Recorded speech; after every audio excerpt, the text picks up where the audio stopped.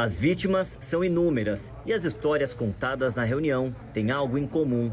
Todos caíram no golpe do casal. É uma coisa assim impressionante. Eu estava com tudo pronto, o projeto da outra empresa, eles chegavam de uma forma tão, eu não sei nem explicar. Eles fechavam e convenciam. Me convenceram sem mostrar nada, só conversando.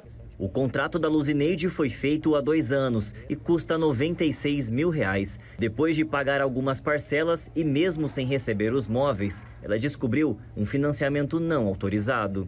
Vocês não têm noção, eu tive uma depressão tão grande. Até hoje eu tomo remédio controlado, tive que fazer é, é, terapias e eu não tinha vontade de entrar na minha casa.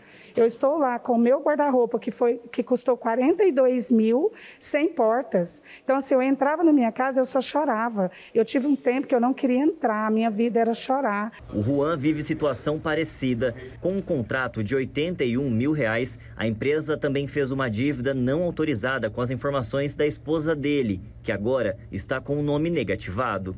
Que fizeram a cobrança indevida com a minha esposa é, fizeram dois, é, questão de financiamento, fizeram financiamento tanto da minha empresa, tanto financiamento no da minha esposa.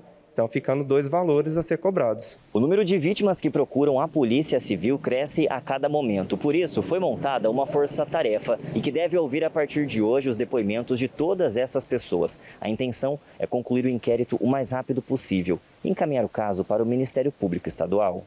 O momento agora de oitivas de vítimas, várias vítimas têm procurado situações semelhantes, mesmo modo de atuação, para que nós possamos, com aprofundar das investigações, trazer as responsabilidades criminais dessas pessoas que praticaram esses vários crimes de estelionato e fraude de documento, enfim, para que eles possam ser devidamente responsabilizados. A partir dessa reunião, nós orientamos todos os consumidores que foram vítimas desse caso a procurar o PROCON para registrarmos tanto quanto a empresa, quanto a fabricante e também os bancos que ofereceram financiamentos indevidos, foram feitos financiamentos indevidos em nome dos consumidores, para que possamos contestar e cancelar esses possíveis empréstimos.